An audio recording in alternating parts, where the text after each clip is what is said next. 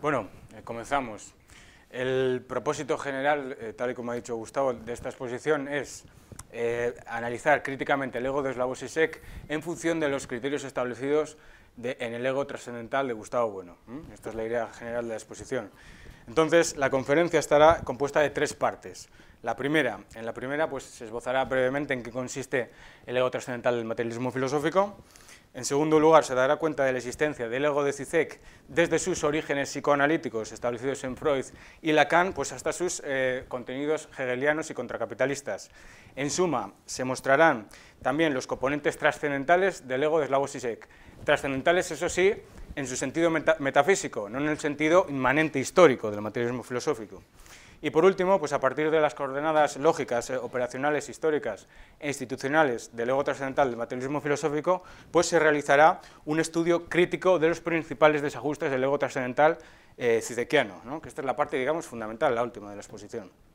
Bueno, debe quedar claro desde un, desde un principio que aquí pues, no se pretende eh, responder por completo la idea de ego trascendental del materialismo filosófico, pues porque se considera que esta idea pues, ya ha sido eh, suficientemente analizada eh, dentro del materialismo, ¿no? dentro del sistema filosófico, pues veas ensayos materialistas, veas el propio ego trascendental, o hay un artículo también de Javier Pérez Jara, en el Catoblepas, si no recuerdo mal, en el 2008, que se titula El ego trascendental como ego lógico en el materialismo filosófico. Entonces, más bien, ahora de lo que se trata, ¿eh? a mi juicio, es de aplicar la idea de, ego trascendental sobre campos nuevos que no hayan sido tratados con anterioridad, como es el caso de esta exposición, el ego trascendental en Slavoj Zizek. Sin embargo, pues para, que, para, que, la exposición pueda mantener una mínima, eh, una mínima, independencia, al menos es necesario recoger las nociones básicas que componen la idea de ego trascendental del materialismo filosófico. El esbozo de la idea de ego trascendental que aquí se va a realizar será, eh, ante todo, breve, pero suficiente para realizar, eh, para llevar a cabo la crítica al ego de Slavoj Zizek y fácil de entender. ¿Y por qué fácil de entender? Porque, pues porque se pretende debilitar al máximo pues, toda ambigüedad y oscurantismos que muchos han arrojado a esta idea, bueno, en gran parte porque la idea de ego trascendental pues, ha venido eh, siendo utilizada a lo largo de la historia de la filosofía por muchos eh, filósofos, ¿no? con distintos significados y desde distintas posiciones, y mm, en cierta medida eh, yo creo que se le ha atribuido una dimensión metafísica al ego trascendental del materialismo que en realidad rechaza por completo. Además, pues bueno, con la intención de aumentar la difusión pedagógica de los asuntos que aquí eh, se tratan, conviene que la exposición pues, eh, sea, esté adaptada para un público en general que quizás sabe mucho de CICEC, pero no está tan familiarizado con el materialismo filosófico. Entonces, como la exposición versa sobre el ego trascendental, tenemos que pasar necesariamente por la ontología especial del materialismo filosófico y también por la ontología general, porque E es igual a, MI y, vamos, esto es estrictamente necesario. Así que yo voy a resumir la ontología del materialismo filosófico en un párrafo y vamos para allá. El espacio ontológico del materialismo filosófico se compone por los siguientes símbolos algebraicos, ¿no? como eh, vemos aquí, que son M, MI, M1, M2, M3 y E. La primera letra, M, pues hace alusión a la materia ontológico general, M es la realidad más amplia del materialismo, es todo lo que hay, ¿no? ya lo conozcamos o no. Se trata de una realidad plural, discontinua, porque se rige también por la simple que, e infinita. La segunda letra, MI, pues eh, designa el universo antrópico del hombre. Esto es, aquellas partes de M, digámoslo así, filtradas eh, por el sujeto operatorio. A su vez, pues MI se compone de tres tipos de materialidades, las materialidades eh, físicas, que sería M1, las materialidades, psicológicas, que sería M2, y las materialidades em, suprasubjetivas abstractas, ¿no? por encima de las voluntades eh, individuales, que serían eh, M3. La última letra, ahora sí, del espacio ontológico materialista es E, y E designa al ego trascendental, en tanto que ego operatorio, mm, humano, ¿no? constructor y ordenador del mapa del mundo MI. El ego trascendental son el conjunto de operaciones históricas de los sujetos que filtran, digámoslo así, los contenidos de M que dan lugar a MI, ¿no? organizando dichos contenidos a lo largo de tres géneros de materialidad, M1, M2 y M3, en tanto que realidades antrópicas, como digo, dadas a nuestra escala y opuestas a la materia ontológico general M. Lo primero de todo, mm, se, ha, de remarcar que el ego trascendental, vamos a decir lo que no es, no es una entidad abstracta situada fuera del mundo, al estilo, por ejemplo, del motor inmóvil aristotélico, eh, sino que es una materialidad más que forma parte de él y que desempeña un papel esencial en su constitución.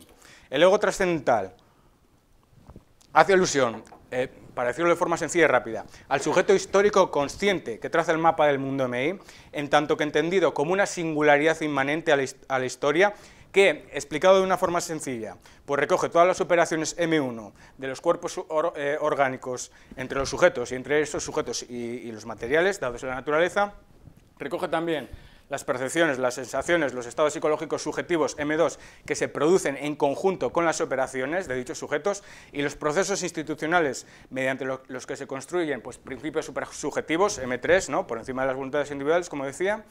Y bueno, en este sentido, la idea de ego trascendental pues da eh, cuenta desde el presente de todas las ampliaciones históricas del mundo MI y lo totaliza bajo la siguiente fórmula, que es la fórmula E es igual a M1 unión M2, unión M3.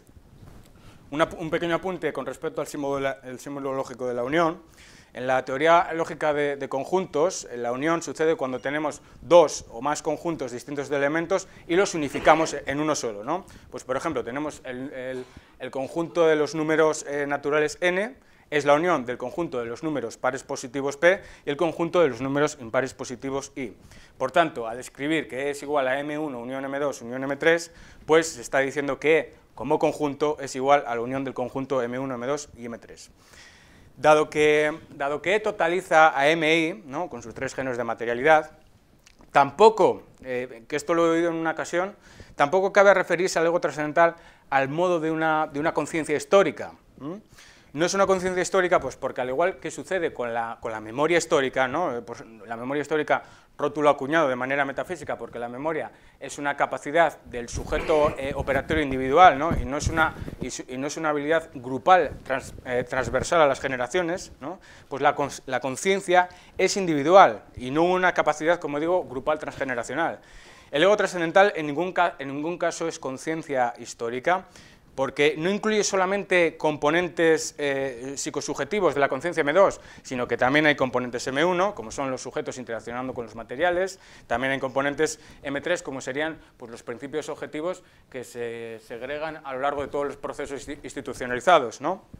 De acuerdo con esto, eh, esta es una cuestión crucial que hay que, em, vamos, que tenemos que resolver para entender luego la crítica Zizek.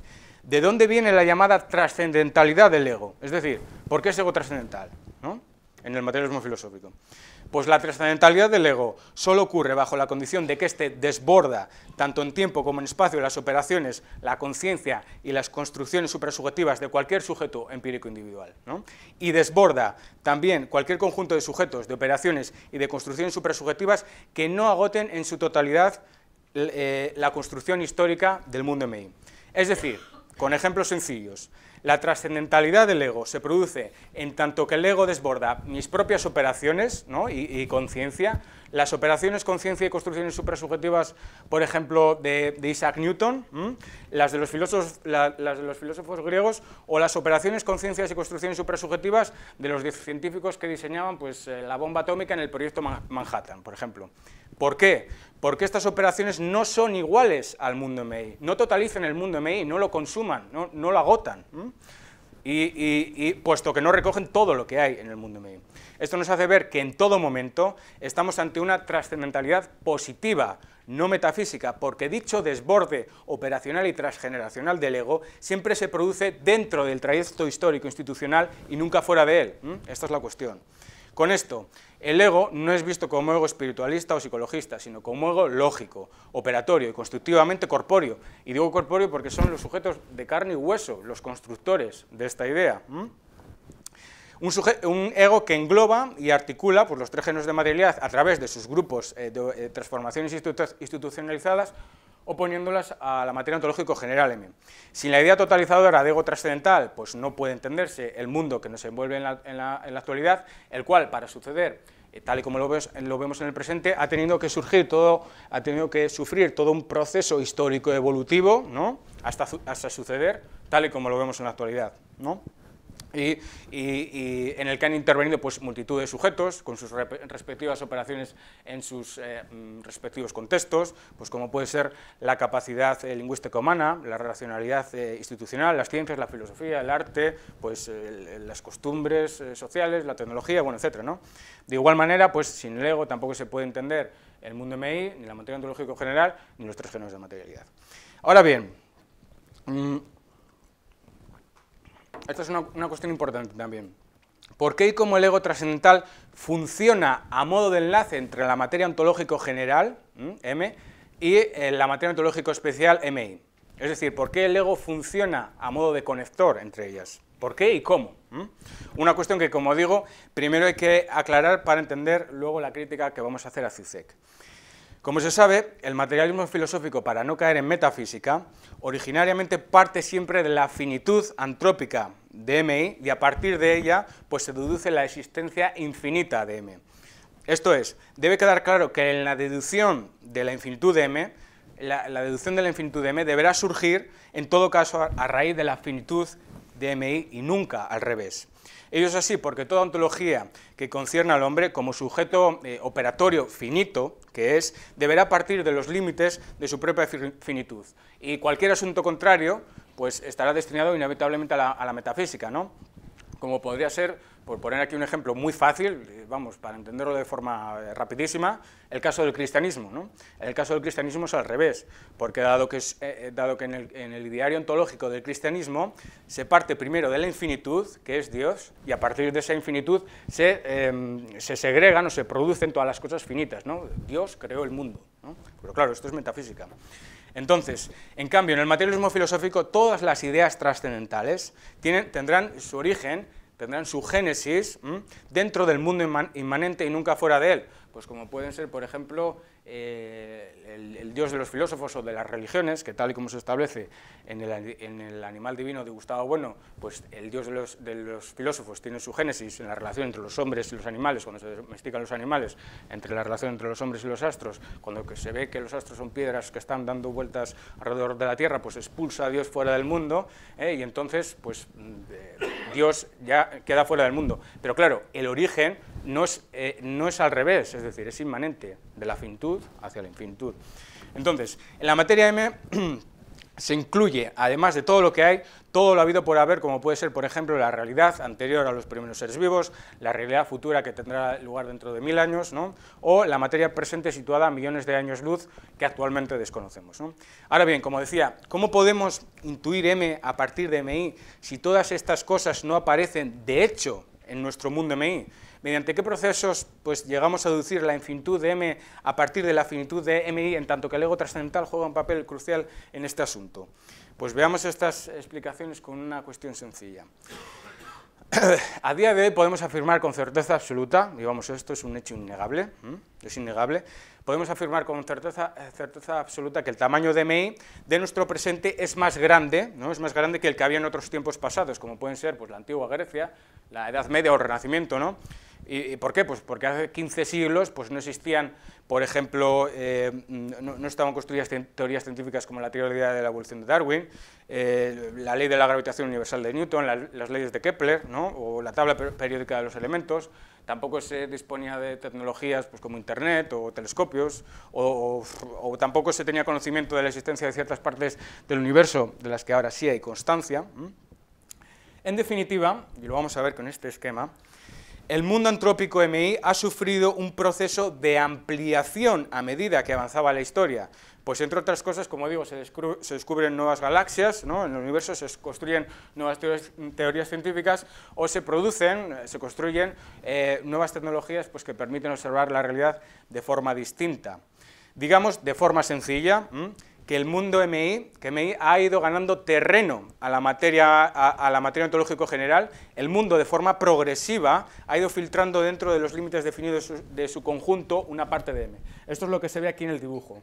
Vemos diferentes eh, mundos MI, que serían los diferentes mundos MI de los, de los distintos presentes históricos.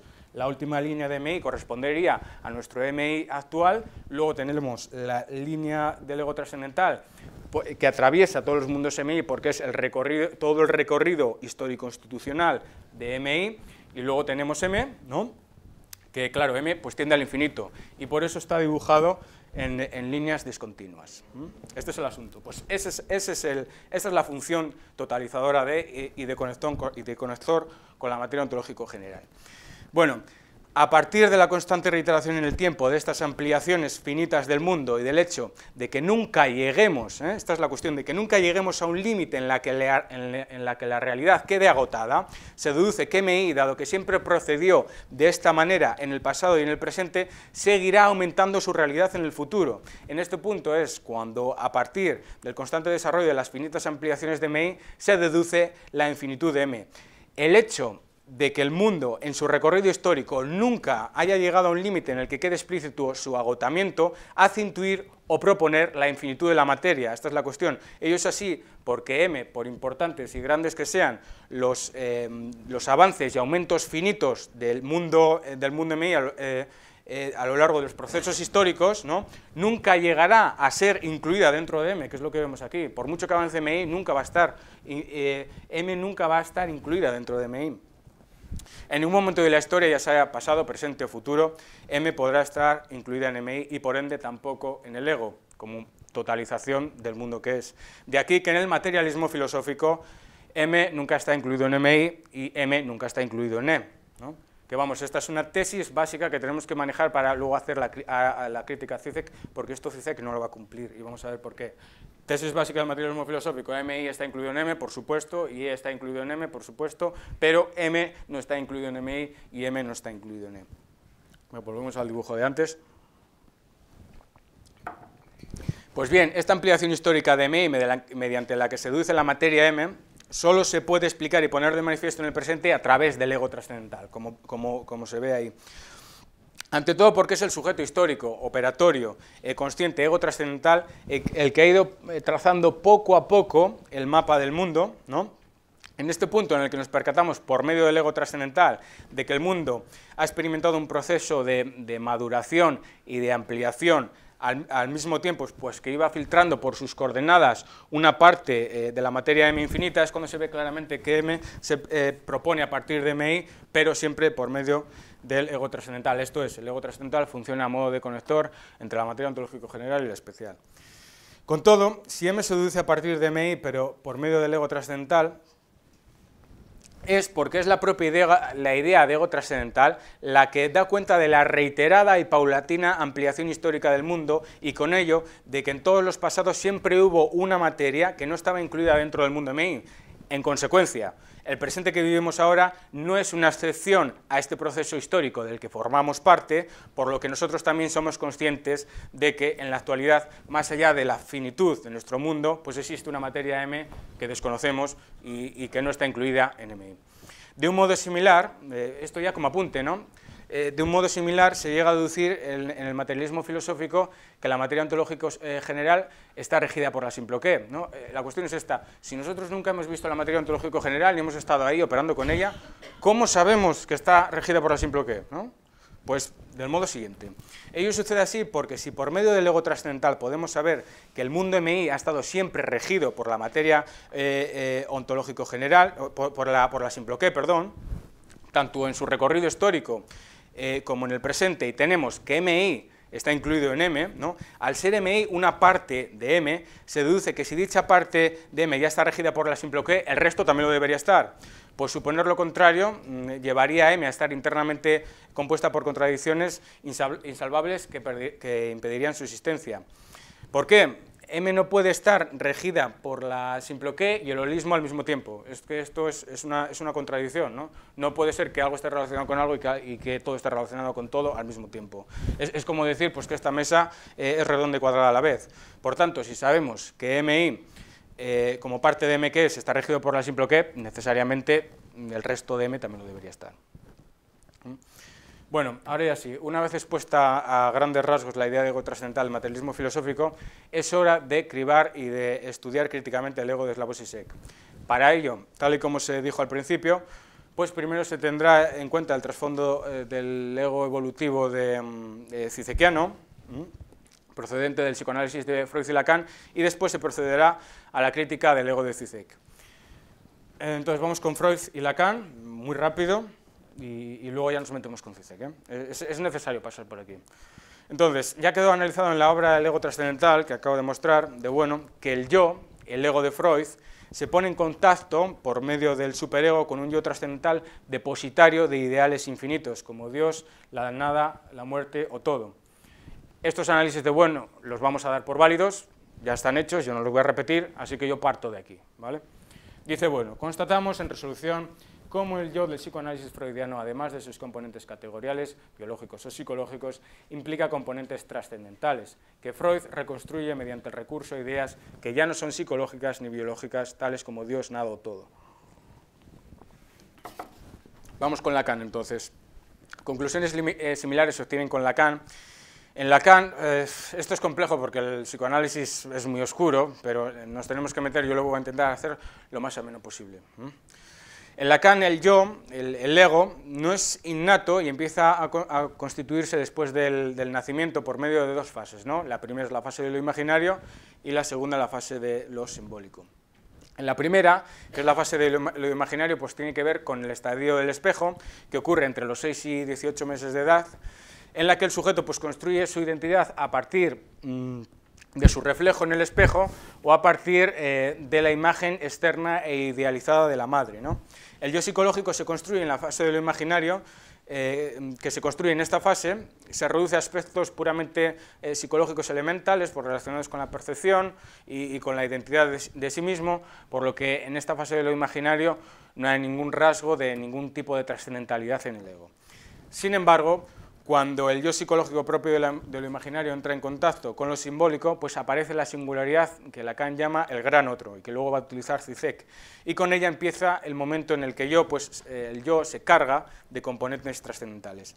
Ello sucede porque cuando el sujeto, a partir de los dos años de edad, entra en el orden de, lo simbólico, que es el, orden del lenguaje y de la cultura, el yo psicológico de lo imaginario ya no es suficiente, ¿no? y tiene que forjarse una identidad eh, simbólico-cultural dado que el sujeto continúa barrado, vacío, porque no se puede atribuir una, identidad cultural a, partir de sí mismo, ¿no? no puede adjudicarse una yoicidad, como digo, cultural, por él mismo, tiene que tomar prestada su identidad a partir del gran otro.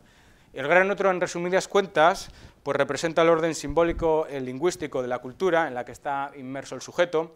El gran otro de Lacan funciona, digamos, al modo de un titiritero que mueve los hilos, ¿no? Que habla a través de nuestro cuerpo, es la red simbólica que, estructura nuestra sociedad y vertebra la alineación del individuo ¿no? en el orden cultural y puede, esta es la, es la parte importante, puede mostrarse a partir de, cualquier... Em, Em, contenido simbólico cultural ¿no? y hegemónico o dominante, como puede ser cualquier ideología o religión. En Lacan el poder de influencia del gran otro sobre el sujeto será total, ¿eh? hasta el punto de que el gran otro se adentra en el inconsciente del, individuo, pues, eh, manipulando y manejando sus operaciones y deseos. ¿no? En este punto dirá Lacan, el inconsciente es el discurso del gran otro, porque nuestras ideologías están en, nuestro inconsciente y nos manipulan. Y luego dirá, el deseo es siempre el deseo del gran otro. Eh, las ideologías y las religiones desean por, nosotros. Por este motivo, el yo, el, ego, siempre estará barrado, siempre estará repleto de traumas, porque no se puede dar una constitución, eh, una identidad a partir de sí mismo, está anulado completamente. El punto crucial reside en que en Lacan el gran otro, eh, eh, el gran otro se adentra en la interioridad psíquica del ego, se apodera del sujeto y con ello el yo subjetivo es capaz de ponerse en contacto con ideales metafísicos infinitos de carácter trascendental que desbordan los límites psicológicos subjetivos en M2. Vamos a ver una cita para ya pasar con Lacan, en el que, si no se ve bien os la leo, en el que Zizek eh, habla del gran otro lacaniano. Dice Zizek, dice Zizek sobre el gran otro Lacan, antes que nada el gran otro aparece como una agencia oculta que mueve los hilos, que maneja el espectáculo entre bastidores, la divina providencia en la ideología cristiana, la astucia de la razón hegeliana, la mano invisible del mercado en la economía mercantil, la lógica objetiva de la historia en el marxismo-leninismo, la conspiración eh, judía en el nazismo, etc. En resumen, la distancia entre lo que queríamos lograr el resultado efectivo de nuestra actividad y el excedente del resultado respecto de la intención del sujeto se encarna de nuevo en otro agente, en una especie de metasujeto, Dios, la razón, la historia, el judío, etc. El gran otro puede funcionar como un reaseguro tranquilizante y fortalecedor, la confianza religiosa la voluntad de Dios, eh, la convicción del stalinista de que es un instrumento de la necesidad, de la necesidad histórica o una aterrorizante agencia paranoica, como es el caso de la ideología nazi, bueno, etc. En definitiva, En Lacan se puede apreciar como el yo psicológico de lo eh, imaginario, por medio del gran otro, pasa a ser depositario de ideales infinitos que sobrepasan la subjetividad interna del sujeto M2, como podrían ser Dios o los contenidos metafísicos, ¿no? la historia, el judío, la razón, eh, los contenidos metafísicos eh, supersubjetivos de cualquier ideología. En tanto que esto sucede, el yo psicológico se carga de componentes trascendentales. Debido a la continuidad entre el psicoanálisis y la filosofía cizequiana, una vez que queda aclarada, al menos en términos amplios, la presencia de componentes trascendentales en Freud, que esto ya lo hizo el profesor Bueno, y en Lacan, que lo acabamos de, ver aquí de forma rápida, pues resulta más sencillo abordar el ego de Slavoj Zizek. Antes de nada, eh, en tanto que el ego trascendental pues, es totalizador de, los tres géneros de materialidad, como decía, es necesario hacer un repaso eh, crítico de las operaciones que se dan dentro de la ontología especial de CICEC, es decir, de las operaciones que se dan dentro del mundo MI de CICEC. Eh, es necesario, si queremos hablar del ego trascendental, hay que hablar de la ontología especial de CICEC. Eh, pero lo vamos a hacer muy brevemente. Y bueno, digo repaso porque esto ya, ya lo abordé en otras conferencias y artículos, aquí no lo voy a repetir otra vez, por lo que solo daré pues, una versión generalísima del asunto para que la exposición de hoy pues, conserve el equilibrio de su discurso. ¿no? Aquí tengo, en estas dos tablas eh, se realiza una reconstrucción de la ontología de Slavoj Zizek desde las eh, coordenadas críticas del sistema del materialismo filosófico, pues poniendo a la vista las correspondencias. El caso, con esto vamos rapidísimo, ¿eh? el caso de Zizek es un monismo mundanista en ontología general que se refleja, que resuena al modo de formalismo secundario en ontología especial un monismo en el que, como acabo de decir, todo terminaba siendo M2, todo era M2, ¿no? esto es muy común en el psicoanálisis. ¿Por qué? Pues en ontología especial no hay una fórmula rigurosa para M1, no hay M1 en CISEC, esto se debía a la influencia de del idealismo de la conciencia de Lacan, en el que la conciencia pues, se reducía únicamente a, procesos psicológico-lingüísticos M2, dejando de lado los componentes M1, pues como pueden ser neuronas, neurotransmisores, impulsos eléctricos, etcétera, componentes que no hablan a ningún sujeto, pero que de hecho forman parte de la conciencia, y también debido a la influencia del idealismo eh, objetivo de Hegel. El idealismo objetivo de Hegel en el que... Em, se tiende claramente a despreciar la naturaleza M1, en tanto que la naturaleza pues, es antítesis y autonegación de Dios. ¿no? En suma, M3 se incluye en M2, ¿no? por lo que decíamos, pues el gran otro M3 como ideología simbólico-cultural está alojado en el, inconsciente, M2, que es una parte de, M2, el inconsciente, y manipulando al inconsciente desde, esta posición. En, en, otras conferencias, esto también lo tengo que apuntar, ya argumenté acerca de la implantación política de Slavoj Zizek, ¿no? en, la obra em, en, la que Zizek pues, partía de la izquierda definida comunista, sobre todo por las fuertes y, repetidas eh, reivindicaciones que hace al ideario de Lenin, sin embargo, al realizar tantas divagaciones fuera de los límites nosiológicos del, del Estado, la izquierda de Zizek termina por, perder su carácter político estricto y degenera en una izquierda eh, indefinida, divagante, que eh, a día de hoy pues, eh, se muestra al modo de una izquierda indefinida, divagante, revolucionaria y contracapitalista. Pues bien, todo el posicionamiento revolucionario contracapitalista que acabo de decir de CICEC se realiza siempre bajo las estructuras del formalismo secundario ontológico especial. En el plano de la ontología general, la ontología general M se incluía dentro del mundo MI, aquí por eso dice que hay metafísica por completo.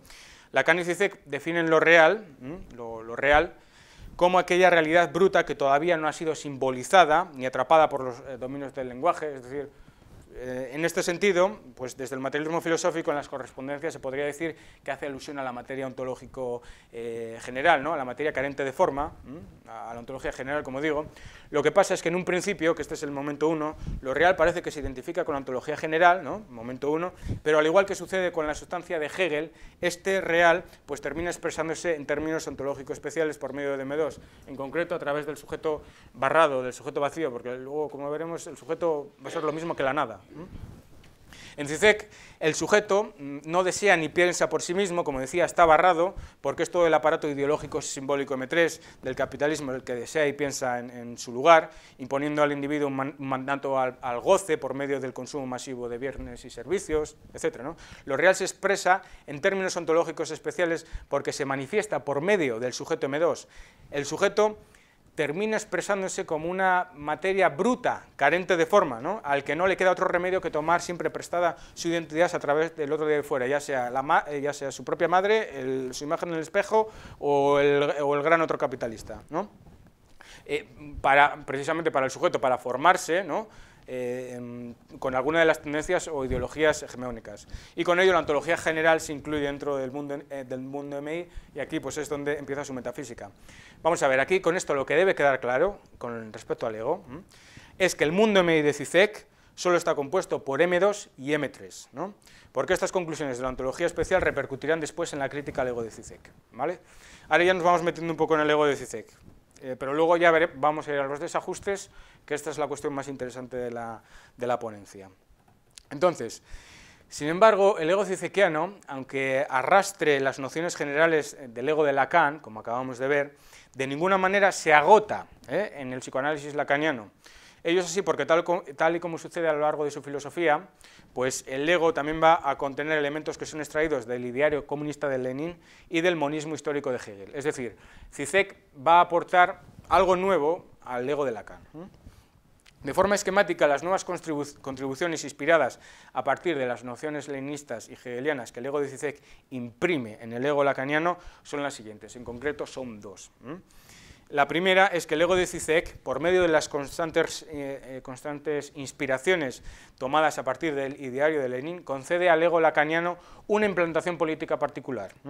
Es decir, el ego trascendental aquí va a estar implantado políticamente, luego lo vamos a ver. Y esta, implantación política son las pretensiones de revolución contracapitalista. la segunda novedad es que el ego de Zizek, dentro de los contornos del monismo histórico hegeliano marcados por el idealismo objetivo, eh, el ego dice que se desarrolló a lo largo de una evolución histórica necesaria a la revolución contracapitalista futura y definitiva. Es decir, eh, en, Hegel es el espíritu absoluto, en Marx el monismo histórico se ve con la revolución del proletariado, en Zizek se va a ver con el final de la historia como revolución contracapitalista. Bueno, voy a mm, desarrollar brevemente las dos novedades de Zizek y luego ya vamos al apartado crítico. En lo que respecta al punto 1, la primera novedad, del mismo modo que sucedía en Lacan, la fase de lo imaginario, en la que tiene lugar la formación del yo, del ego, por medio del estadio del espejo, pues posee poca importancia para Zizek y queda reducidamente pues, a procesos psicológico-perceptivos eh, preedípicos, ¿no? entre los 6 y 18 meses, en los que el sujeto pues, aún no ha tomado contacto con la parte crucial de la realidad, que es lo simbólico. De igual manera ocurre en Lacan. ¿no? Eh, en la filosofía, eh, de igual manera ocurre en Lacan, que, eh, como digo, en la filosofía de Zizek, una vez que el sujeto se adentra en lo simbólico, debido a su incapacidad para darse su propia identidad a partir de sí mismo, tiene que tomar prestada su yoicidad por medio de la singularidad simbólico-cultural del gran otro. Ahora bien, la, diferencia entre Zizek y Lacan reside en que si en Lacan lo simbólico y el gran otro hacían alusión al orden simbólico-cultural general de normas y leyes que oprimen y traumatizan el yo psicológico, en cambio, Zizek desarrollará una fuerte tendencia en sus análisis filosóficos del presente implantados políticamente en contra del capitalismo a reducir esta singularidad del, eh, gran otro a la forma específica del, del sistema capitalista, que es como la ideología dominante.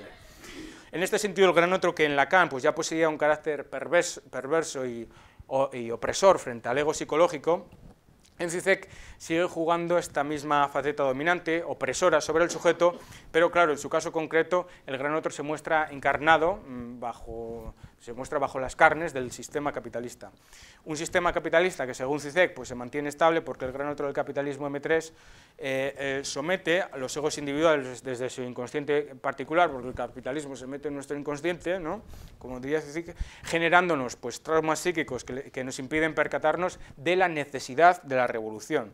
Ante todo porque los contenidos ideológicos simbólicos del gran otro M3 del capitalismo se adentran en el inconsciente M2 del sujeto y desde ahí pues piensan y desean por él, obligándonos a consumir, bueno, etc.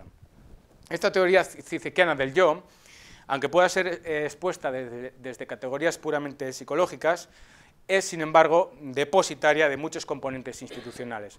Es decir, aquí vamos a ver cómo el ego de CICEC, que en principio es una, eh, aparece como una categoría M2, ¿no? se va a ir cargando ya de componentes institucionales y luego trascendentales. Pero el ego de CICEC es sobre todo el resultado de los procesos de dominación y opresión ideológicos simbólicos que producen las instituciones del capitalismo sobre el sujeto psicológico. ¿no? Más que nada porque el ego, pues, al estar censurado desde el principio, pues eh, se constituye por medio del escenario simbólico hegemónico que envuelve en presente, que son las normativas ideológicas impuestas por las instituciones del sistema capitalista. En cuanto a la segunda novedad, en lo que, respecta a la segunda novedad, el gran otro, como singularidad eh, simbólico-cultural que representa la ideología dominante, en CICEC, a diferencia de en Lacan, puede dejar de expresarse como orden simbólico generador de traumas y represiones para convertirse en todo lo contrario. Es decir, en una entidad pues, que cumple funciones y liberadoras, ¿eh? Eh, funciones sanadoras y liberadoras en el ego. Una cuestión pues, que en CICEC sucederá siempre y cuando se consiga que el ideario simbólico de la revolución contracapitalista adquiera el rol de gran otro, es decir, de ideología hegemónica dominante. Por medio de la filosofía hegeliana, CICEC ofrecerá la posibilidad pues, de concebir al gran otro como singularidad eh, simbólico-ideológica liberadora, siempre y cuando, como digo, este gran otro pues, esté identificado con el ideario de la revolución contracapitalista dada como punto último, final y, sublime de la historia. ¿no? Entonces aquí se ve como Zizek recoge la particularidad de la filosofía de Hegel relacionada con el monismo histórico, en la que la historia pues, desde sus orígenes avanza eh, de forma predeterminada hacia un punto final, definitivo, en el que se darán pues, los mayores grados de excelencia. En el caso de Zizek, digámoslo así, el espíritu absoluto adquiere la forma de revolución contracapitalista sanadora y, liberadora de la traumática pues, coerción del sistema capitalista. A ver, esta, entonces, esta teoría cicequiana eh, muestra un ego eh, repleto de carencias, un ego incompleto y perturbado cuando está dado dentro de las estructuras capitalistas, sin embargo, pues puede optar hacia una evolución superior, hacia una curación de sus traumas y deseos reprimidos cuando incluye dentro de sí la necesidad futura, aún por venir, de la historia en forma de revolución contracapitalista. ¿no? Una revolución contracapitalista que, pues como punto más desarrollado de la historia, siempre ha estado eh, según Zizek, inscrita en el inconsciente de los sujetos como un deseo pues, reprimido que, no ha conseguido cristalizar de forma definitiva en nuestros días, debido a la perversa coerción del sistema capitalista. Aquí es cuando el yo cizequiano pues desborda por completo las categorías psicológicas hasta el punto de contener dentro de sí pues, eh, componentes tan trascendentales como es la necesidad histórica futura en forma de revolución contracapitalista. ¿no? En general, y aquí vamos a ir aunando lo que he dicho, tal y como se aprecia. El yo, el ego dice que es una entidad no innata, que se construye siempre a partir de singularidades externas, primero a través de la madre ¿no? Eh, y, del reflejo de sí mismo en el estadio del espejo, y en la fase, y en la fase de, lo simbólico a través del gran otro. A lo largo de su constitución, el ego, el ego cicequiano nunca queda circunscrito exclusivamente dentro de categorías psicológicas y termina por acoger en su seno gran cantidad de componentes institucionales, como es la institución eh, antropológico-histórica de la familia, cuando ese, ego se construye a través de la madre, y, o como es todo el conjunto de instituciones eh, eh, ideológicas del sistema capitalista pues, que configuran la, constitución interna, la identidad del, del sujeto. ¿no? Pero eh, entonces tenemos que el, ego de CICEC tiene componentes psicológicos, tiene componentes institucionales, la, institución de la familia, las instituciones capitalistas, y ahora vamos a ver los componentes trascendentales del ego de CICEC. Como digo, a su vez, ya nos estamos metiendo en las cuestiones importantes de la conferencia. A su vez, el yo de CICEC, por medio del gran otro, puede llegar a desbordar los límites categoriales relacionados con la sucesión de generaciones de sujetos y tener acceso así a ideas infinitas de carácter trascendental que rebasan la inmanencia, ¿eh? como, como, son, pues, por ejemplo, la idea de Dios o la idea de nada. Esto en CICEC aparece en muchas ocasiones, pero bueno, yo he traído dos representativas porque no puedo traer más. Vamos a verlas rápidamente. Dice CICEC, este espacio simbólico actúa como parámetro respecto del que puedo medirme. Por eso el gran otro puede personificarse o reificarse en un simple agente, el Dios que vigila desde el más allá a mí y a cualquier persona existente o la causa que me compromete, libertad, comunismo, nación, por la que estoy dispuesto a dar la vida. mientras hablo, nunca soy un pequeño otro, el gran otro siempre está ahí. Como se aprecia en la primera cita, el gran otro, pues, que está incluido dentro de la subjetividad del individuo, puede jugar el papel de depositario de ideas tan trascendentales como es la idea de Dios que vemos aquí. Otra cita, em, para reforzar esto que estoy diciendo. Dice Cicek aquí, en el nivel del deseo, esta actitud de robar significa que el deseo es siempre deseo del otro y nunca inmediatamente mío. Solo deseo un objeto en cuanto es deseado por el otro. De modo que el único modo que tengo de desear auténticamente consiste en rechazar todos los objetos positivos de deseo y desear la nada en sí, una vez más, advertimos la homología con Nietzsche. Un querer puede ser un querer querer, un querer que quiere quererse, solo en cuanto un querer que quiere activamente la nada. Y aquí dice, esta nada representa, eh, esta nada representa en última instancia al propio sujeto. Es decir, el significante vacío sin significado que representa al sujeto. De modo que el sujeto no está eh, directamente incluido en el orden simbólico, está incluido en el punto mismo en el que se derrumba la significación. En esta segunda cita, el sujeto, está dominado por el, sujeto está dominado por el conjunto de ideologías simbólico-culturales del gran otro hasta el punto que el individuo pues, no puede desear por sí mismo, ¿no? porque es el conjunto de ideologías del gran otro capitalista ¿no? el, que, el, que, el que desea por el sujeto. Por, lo que la única forma que tiene el sujeto de desear con libertad y al margen, y al margen de toda coerción ¿no? Eh, consiste en desear la nada en sí, pero, claro, la, cuestión problemática es que aquí el sujeto solo puede ser el mismo, libre de coerción, cuando desea la nada. Y entonces el sujeto en sí pues queda propuesto como la nada misma. Por lo que rebasa sus límites finitos para abrazar eh, componentes tan trascendentales como es eh, la idea de nada. En definitiva, desde las coordenadas étic del materialismo filosófico, en la teoría de Cicek, que luego implica componentes M1, teniendo en cuenta que, pues, que el sujeto eh, eh, psicológico necesita de un cuerpo orgánico sobre el que eh, sostener su subjetividad mental, ¿no? aunque EMIC, como vimos, M1 no se, tiene en cuenta debido, sobre todo a la fuerte influencia del idealismo de la conciencia de Lacan. El, ego etic dice que implica también componentes M2, como veíamos, que son los deseos, el pensar, las fantasías, las represiones traumáticas psicológicas, la idea de yo, etc. Pero, y esta es la parte crucial, también componentes institucionales M3, los de la institución de la familia, los de las instituciones opresoras del capitalismo y, liberadoras del, capitalismo, y en resumen, los del gran otro, en tanto que implican modelos o estructuras normativas eh, eh, compartidas, ¿no? que son suprasubjetivas, de carácter trascendental, que trascienden las generaciones y los límites finitos materiales, como son la idea de Dios y la idea de nada. Esto es, el yo psicológico de Zizek comienza constituyéndose por medio del imaginario como un sentimiento finito de emulación al otro de ahí fuera, ¿no? ya sea la madre eh, en el estadio del espejo, ya sea el reflejo de sí mismo ya sea el gran otro del sistema capitalista pero que termina siendo depositario de ideas infinitas de carácter trascendental, que ya no son meramente psicológicas, como son Dios, la nada o la necesidad venidera de la historia en forma de revolución contracapitalista salvadora y definitiva. Con todo, aquí se concluye que el yo cicequiano, además de sus componentes psicológicos, implica e incluye componentes trascendentales. Bueno, eh, ahora ya nos vamos a meter en materia la crítica del ego de Zizek y ya termino, ¿vale? Un cuarto de hora más. Entonces, eh, esta es la parte ya crucial de la exposición, la parte más importante. Una vez que ha sido comprobada la existencia del ego en la filosofía de Zizek, así como sus implicaciones trascendentales, es hora de clasificar la posición que desempeña E en MI dentro del pensamiento de Zizek. ¿no?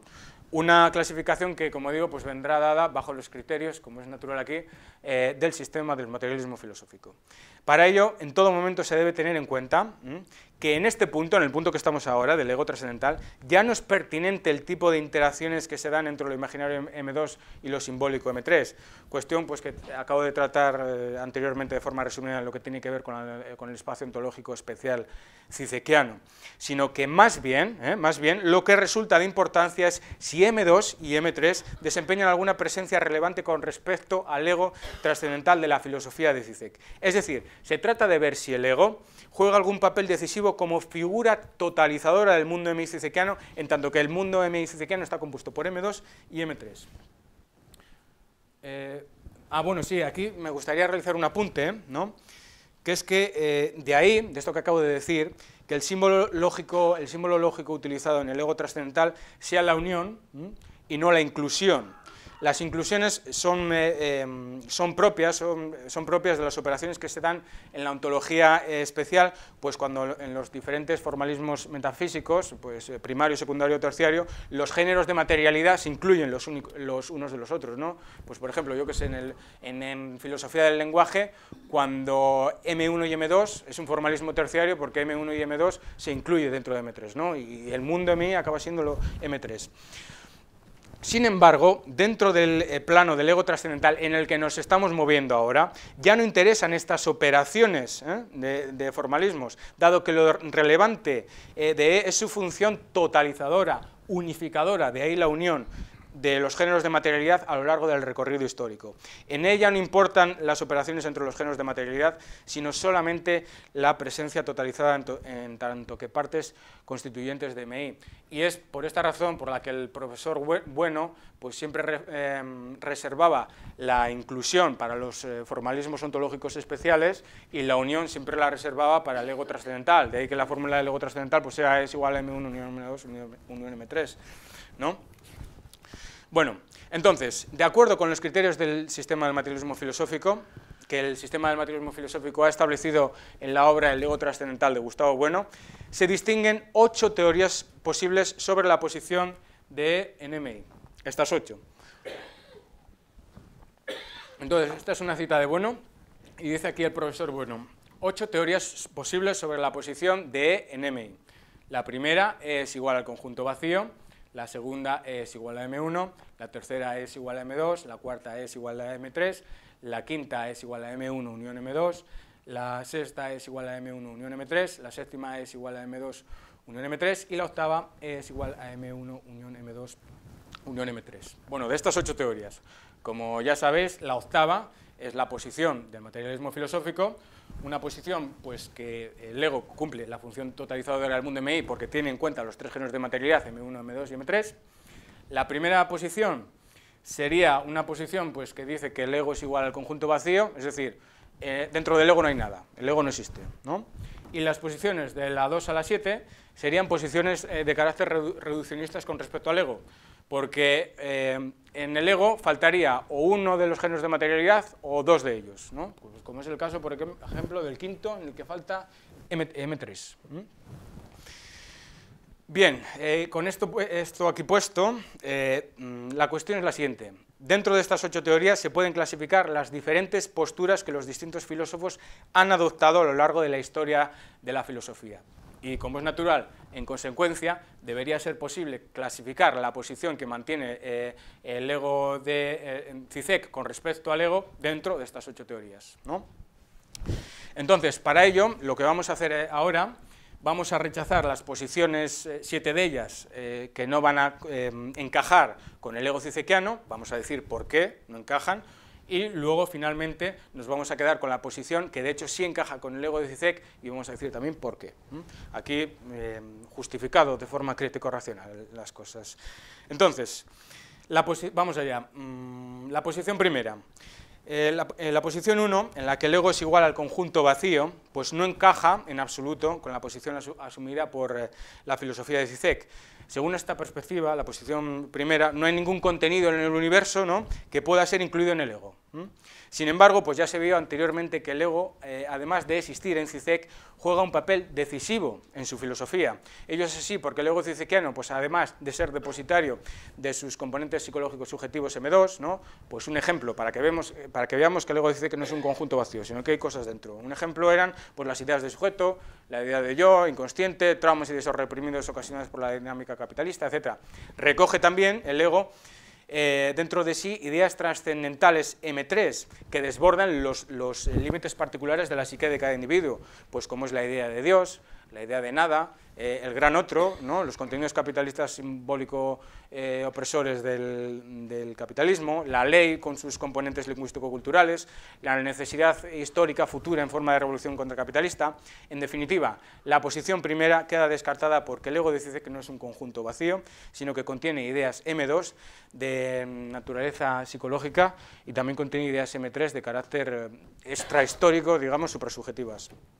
Em, que desbordan pues eso, la subjetividad eh, M2 del individuo particular. Las eh, posiciones 2, 5, 6 y 8 tampoco son representativas de la actitud que la filosofía cizekiana adquiere con respecto al ego. La exclusión de Zizek de estas cuatro posturas se debe a que los puntos, como digo, 2, 5, 6 y 8, el primer género de materialidad M1 forma parte del ego trascendental, y este aspecto pues ya resulta decisivo porque si se recuerda lo que, mencioné de forma resumida con respecto a la ontología especial cizekiana, M1 está completamente desaparecido en el ego de Zizek, pues como decía, debido a la influencia del idealismo de la conciencia de Lacan y a la influencia del idealismo objetivo de, Hegel. Finalmente, el ego, eh, el ego trascendental de la filosofía de Zizek no puede contener el primer género de materialidad, porque este nunca es contemplado en su ontología, y en consecuencia las posiciones 2, 5, 6 y 8 quedan descartadas, porque estas posiciones se incluyen en el primer género de materialidad. Es, así de sencillo. La posición 3, al considerar que el ego no recoge eh, contenidos M3, pues no puede encajar con la eh, concepción del ego cizequiano, Tal y como argumenté, el ego de la filosofía de Zizek contiene dentro de sí ideas trascendentales M3 eh, supersubjetivas que desbordan la conciencia psicológico-individual del, sujeto, pues como eran las ideas de Dios, las ideas, la idea de nada, la idea de gran otro, la, necesidad histórica de la historia en forma de revolución eh, contracapitalista, etc. Y por tanto, este motivo pues, es, suficiente para rechazar la posición 3, porque esta posición no contiene M3 y el ego de Zizek sí contiene M3. Entonces, la posición 4 dado que considera que el ego pues, no recoge contenidos M2, tampoco puede eh, corresponder con la concepción del ego cizekiano.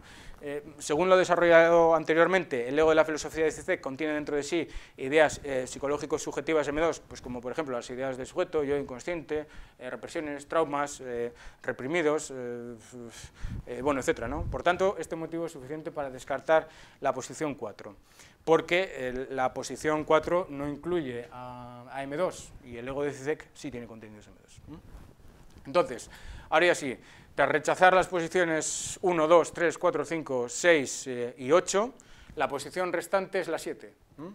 Y esta es la que debería encajar con los planteamientos de la filosofía de Zizek, que la filosofía de Zizek asume con respecto al ego trascendental. De hecho, así sucede pues, por dos razones fundamentales que voy a dar aquí ahora que es, al fin y al cabo, pues, la presencia de M2 y M3, porque aquí no, interesan las inclusiones ni las operaciones que se dan entre los géneros de materialidad, como dije. Entonces, la primera razón por la que la posición dice que es la posición 7 es, en primer lugar, la posición 7 asume que M2 eh, que E es igual a M2 unión M3, ¿no? relegando de esta manera de M1. De igual forma sucede con Zizek. Como mencioné, debido al idealismo de la conciencia por influencia de Lacan y al idealismo objetivo por influencia de Hegel, eh, pues, eh, la filosofía eh, estas influencias contribuyen a que el primer género de materialidad M1 pues, quede mm, excluido ¿no? y queda al margen al margen de su ontología, por lo que el mundo MI solo está compuesto por M2 y M3. El ego de Zizek nunca podrá contener M1 porque este no está contemplado en su ontología especial. La segunda razón por la que el ego de que encaja con la posición 7 es que, bueno, pues eso, en segundo lugar, la posición 7 asume que es igual a M2 unión M3, cumpliendo E la función totalizadora de M2 y de M3. De igual manera ocurre en CICEC. Eh, según lo constatado, pues, eh, el mundo MI de la ontología cicequiana solo está compuesto por M2 y M3.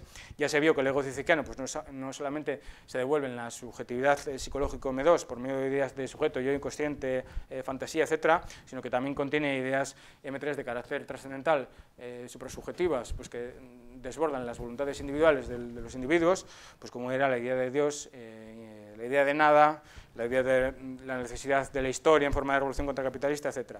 Por tanto, aquí concluimos, por medio de las dos eh, razones argumentadas, pues se deduce que el ego trascendental de la filosofía dice que se manifiesta bajo la fórmula E es igual a M2 unión M3. ¿Qué más? Ah, bueno, sí. Eh, con todo, del análisis ontológico especial anterior se dedujo que en CICEC MI pues es igual a M2 y M3 y los nuevos eh, resultados em, relativos a la función totalizadora de con respecto a MI muestran que E es igual a M2 unión M3, de modo que en la filosofía de CICEC E es igual a MI, pero siempre en tanto que MI es igual a M2 y M3 y E es igual a M2 unión M3. Y aquí, bueno, lo he puesto de forma esquemática, estas serían las diferencias entre el ego trascendental del materialismo filosófico y el ego trascendental de la filosofía de CICEC. Como acabo de decir, en el, ego trascendental de, de Slavoj M1, MI es igual a M2 y M3, pero en tanto que formalismo secundario, en el que M3 se incluye en M2, ¿no? MI es igual a E, y eso es igual que el materialismo, y E es igual a M2 unión M3. Pero claro, en el materialismo filosófico, pues MI es igual a M2 unión M3, incluye M1, ¿no? Pero claro, en tanto que los géneros de materialidad son inconmensurables, aquí no hay formalismos, porque ninguno de ellos se puede incluir dentro del otro. ¿no? Esta es la cuestión. Eh, y MI es igual a E, y E es igual a M1 unión M2 unión M3. Y ya entonces, en conclusión, terminamos en cinco minutos. Con todo lo recogido hasta el momento, hasta el momento presente, a la hora de contrastar el ego trascendental del sistema del materialismo filosófico con el ego cicequiano, también con atributos trascendentales, pero en su caso metafísicos, porque contenía ideas como la de Dios, la nada y la necesidad histórica, surgen cuatro desajustes principales en el ego trascendental de la filosofía de Zizek. ¿vale? Vamos a verlos uno por uno. El primer desajuste principal del ego de Zizek pues sería que en la filosofía de Zizek mmm, queda corrompido el sentido y la estructura constitutiva de E. ¿Por qué? Pues si tenemos que en la filosofía de Zizek E es igual a M2 unión M3 y en el materialismo filosófico E es igual a M1 unión M2 unión M3, se ve claramente como el ego del sistema del profesor bueno considera a M1 además de M2 y M3 en la totalización del mundo MI, mientras que el ego cicequiano pues deja de lado, se olvida del primer género de materialidad debido al idealismo de la conciencia, etc. De esta forma, el ego de Zizek, pues, pierde su función de totalizar al mundo MI, porque el mundo también se compone de M1, ¿no? con lo que el ego pues queda reducido a conciencias psíquicas subjetivas M2 y a, y a, y a conciencias objetivas esencializadas M3, ¿no? corrompiéndose así el sentido y la estructura constitutiva de ego. Que esto es lo que dice Bueno aquí, que es lo que pasa con Zizek. Dice el profesor Bueno en el ego trascendental. Dicho de otro modo, E solo es concebible como participando a la vez de M1, de M2 y de M3. Si eliminamos cualquiera de los tres campos, E desaparecerá, porque o bien quedará reducido al sujeto corpóreo, o bien a la conciencia psíquica subjetiva, o a una conciencia objetiva esencializada y sustantivada. ¿Qué es lo que ocurre en CISEC? Que el ego pues, queda reducido a, a conciencias psíquicas subjetivas y a conciencias objetivas esencializadas y sustantivadas. Este sería el primer desajuste, vamos, que el ego se, derrumba por completo, del mismo modo que se derrumba MI. Entonces, el segundo desajuste sería que en la filosofía de Zizek, M, M, la materia ontológica general, queda incluida, incluida dentro del, del, ego trascendental. En el materialismo filosófico, como, como dije, el mundo finito MI siempre queda incluido en la materia infinita, es decir, MI está incluido en M. Y en tanto que E es igual a MI, jugando E el papel de totalizador de los tres géneros de materialidad, E queda incluido en M. ¿no? Pero, por el contrario, el materialismo filosófico nunca incluye la materia M dentro del ego trascendental, sencillamente porque M hace alusión a una, a, pues a una realidad infinita, ¿no? que sobrepasa por completo pues, los límites finitos de MI y de, M, y, y de E, perdón, y no es viable incluir la infinitud en la infinitud, con lo que M no está incluido en E. Eh, en cambio, en la filosofía de Zizek, bueno, esto lo he desarrollado en otro lugar, pero lo voy a decir rápidamente, lo, eh, Zizek sí que va a incluir la materia ontológica general en el ego trascendental. En la filosofía, en la filosofía de Zizek, eh, lo real se informa, ¿no? que en un principio se identificaba en las correspondencias con la ontología general M, pues termina por incluirse, como digo, en el mundo MI, y como consecuencia M también se incluye en el ego trascendental de Zizek en tanto que este era resultado pues, de la totalización de lo imaginario M2 y de lo simbólico M3. Es decir, M está incluido en, e, en CICEC. Un asunto que, como digo, ya traté detalladamente en un artículo del Catoblepas eh, titulado La influencia del formalismo secundario M2 en el fundamentalismo revolucionario contracapitalista de Slavoj Zizek. Pero bueno, que en resumidas cuentas, en un párrafo lo explico, consistía en que lo real, ¿no? que es la materia sin forma, pues se manifiesta a lo largo de dos, de dos fases, a lo largo de una fase presimbólica y de una fase simbólica. Lo real presimbólico ¿no? hace alusión a la materia bruta M, carente de forma, que aún no ha sido, no ha sido simbolizada ni atrapada en, la red de los significantes, ¿no? pero, eh, sin embargo, ese real presimbólico se incluye dentro del mundo M en su fase simbólica. Es decir, primero en CICEC tenemos la, la, materia bruta carente de forma, pues que no, a la que no se le han puesto nombres, eso es una silla, no, es una, es una eh, realidad pues, que no se ha visto, que no se ha catalogado desde el lenguaje, ¿no? Sin embargo, ese mismo real presimbólico se incluye dentro del mundo MI en su fase simbólica, porque una parte de ese real pues queda simbolizada, ¿no? en nuestro mundo actual nosotros damos nombres a las cosas, filtramos nuestra realidad por medio de ideologías, de religiones, ¿no? de visiones del mundo, y esa, esa eso real, bruto, carente de forma, queda simbolizado, ¿no? se convierte en ontología especial. Em, eh, entonces, digo, porque una parte de ese real queda simbolizada dentro de los dominios ideológicos suprasubjetivos M3. Pero hay una parte de ese real que se resiste a ser atrapada por las redes del lenguaje y de la simbolización ideológica, la cual queda identificada con el sujeto barrado M2, ¿no? porque el sujeto no podía darse una constitución a, partir de sí mismo, recordar, el sujeto es la nada. ¿no? Entonces hay, hay una carencia, hay una, materia ontológica general que se incluye dentro de, de M2, de MI, y, entonces esto empieza su metafísica. Em, lo que digo, una parte de lo real pues, se resiste a ser atrapada por las redes del lenguaje de la significación ideológica, que es el sujeto, el sujeto barrado, y con esto el sujeto pues, está repleto de traumas psíquicos porque no es más que un acto fallido de la, simbolización. Por ello, en CICEC, M se incluye en M2 y M3, en tanto que el mundo cicequiano MI es igual a M2 y M3, pues se deduce que M está incluido en MI. Por tanto, al jugar E el papel de totalizador de los géneros de materialidad del mundo MI, tenemos que M se incluye en E. Con ello, la filosofía de Zizek, al incluir la infinitud de M dentro de la, finitud de, E, pues recae por completo en metafísica.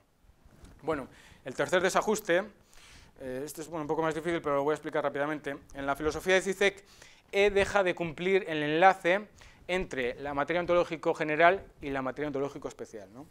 En el materialismo filosófico, como sabemos, aunque E es igual a MI, siempre tenemos que M es distinto de E, como decía, y que M en consecuencia es distinto de E. El hecho de que es distinto de M y que E es igual a MI permite que pueda jugar el papel de conector entre el mundo MI y la materia ontológica general M dado que si M y MI fueran la misma cosa, pues la figura del de, ego trascendental sobraría, porque la materia ontológico especial y la general pues ya se pondrían en contacto a través de sí mismas por su igualdad. ¿no? Esto es lo que dice aquí, bueno, dice, el ego trascendental del que hablamos en este libro es una idea lógico-material, nosológica, simbolizada por E, que se interpreta como un enlace entre el mundo expectabilis MI totalizado por E y la materia ontológico general M. Pero claro, esto puede suceder en tanto que M es distinto de MI. Mm, sin embargo, de acuerdo con los eh, resultados anteriores eh, relativos a la ontología especial cicequiana, en la filosofía de Cicek, MI es igual a M y MI es igual a E, por lo que de aquí se deduce que E es igual a M. Eh, dada la igualdad entre M y M, pues es imposible que E funcione entre enlace y entre la materia, como enlace entre la materia ontológico general y la especial, pues porque al ser M, M y MI la, la misma cosa, pues ya se ponen en conexión eh, por sí mismas a partir de su igualdad, como digo. Y entonces, claro, la figura eh, conectora de E resulta, está de más, resulta superflua.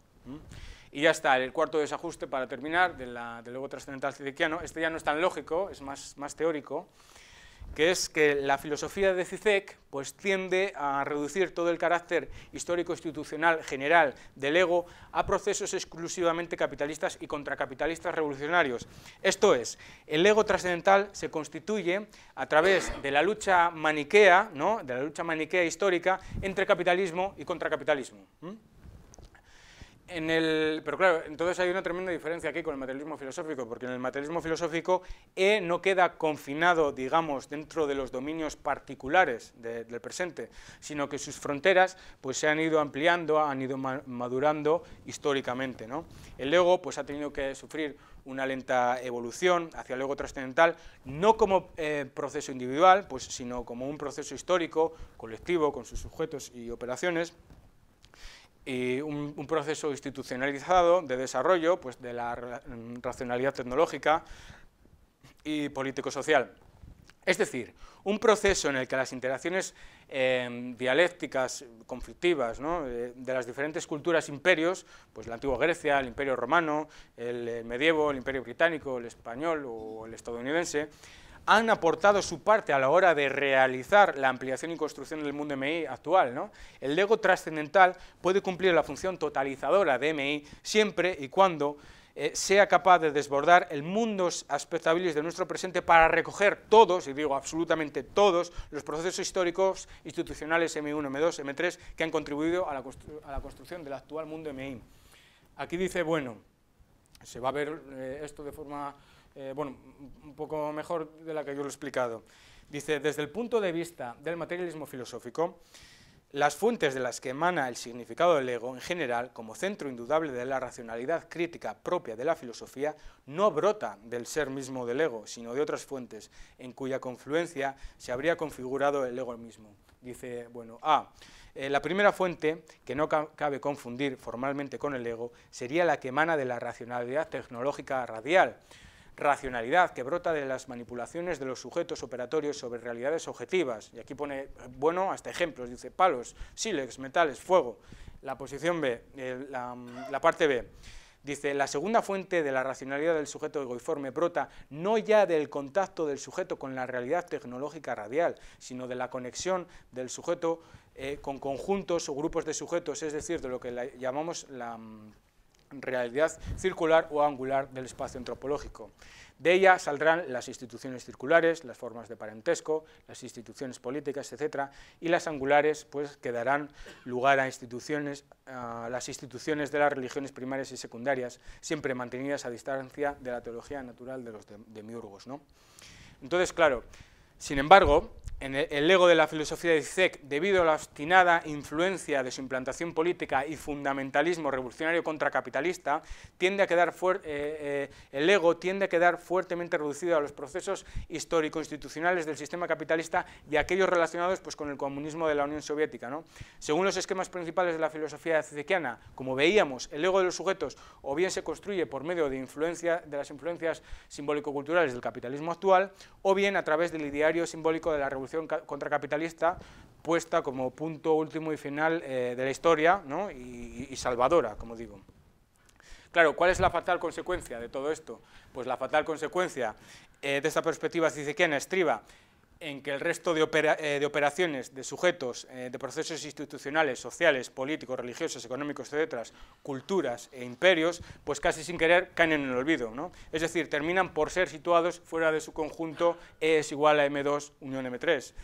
Desde el materialismo filosófico, aquí no se está diciendo eh, que los procesos institucionales del eh, capitalismo y del comunismo de la Unión Soviética pues, no sean eh, importantes dentro de la función totalizadora que el ego trascendental realiza con respecto al mundo MI, ¿no? sino desde el materialismo filosófico lo que se afirma de manera rotunda es que ellos pues, no son los únicos del proceso histórico-lógico del ego trascendental y tampoco tienen que ser más importantes en comparación con otro tipo de acontecimientos que forman parte del mundo MI y del ego trascendental, pues como, como, pueden ser eh, la geometría griega, el feudalismo de la Europa occidental, ¿no? la teoría de la evolución de Darwin, las leyes de, Kepler, estos pueden ser más importantes que el par dialéctico maniqueo eh, histórico de capitalismo contra capitalismo. ¿no?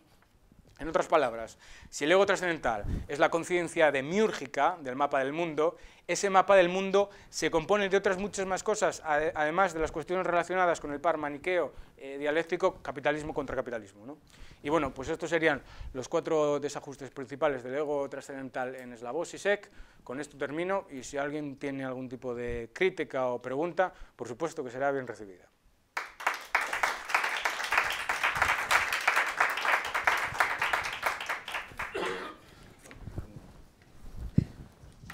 Bueno, se, te olvidó una tercera posibilidad. No, no tiene por qué ser solo preguntas y críticas, también puede haber elogios. ¿eh? Y eso, por ahí voy, voy a empezar yo, claro, naturalmente, es que no, no, no queda más, más remedio, a pesar de que, tu exposición ha sido abrumadora, eso también hay que, eh, esto también hay que, hay que decirlo, ¿no? ¿Acaso debido, pues yo que sé, a tu ímpetu, juventud o lo que sea, eh, has llevado una, una, una, una velocidad impresionante, ¿verdad? Y ha sido a veces complicado pues ir tomando, pero bueno, yo creo que, se puede entender perfectamente lo que has querido decir, sin duda alguna. Y entonces, pues yo tengo que hacer un elogio porque veo que eh, reproduces la misma metodología que en la conferencia anterior, es decir, que llegas, nos ofreces, por así decirlo, unos resultados después de haber hecho pues una cantidad de operaciones finísimas para excluir ¿eh? de una de las posibilidades ¿eh? Eh, o, de, en el caso que nos ocupa, pues de siete posibilidades y, no cabe más que una.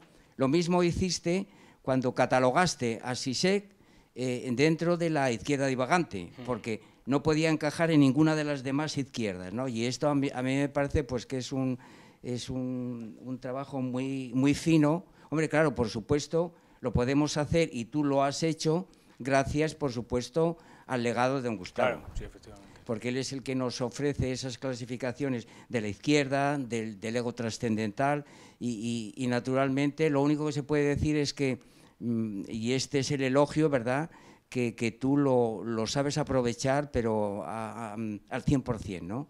Y, bueno, yo, yo me he quedado pues eh, eh, impresionado por esa facultad que tienes tú, esa propiedad que tienes tú para, para hacer las exclusiones, ¿verdad? Y, y, llevarnos a, pues eso, a la, a la, a la, a la, a la inclusión correcta y mm, que mm, eh, contiene naturalmente a su vez una, una crítica, porque eh, criticar es clasificar.